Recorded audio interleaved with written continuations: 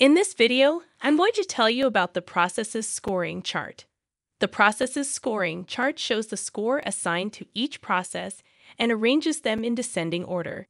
This way, you can quickly find the processes with the highest and lowest scores. You can download the data from this chart in Excel format. You can also switch the data display to other views, to table views, or other chart formats.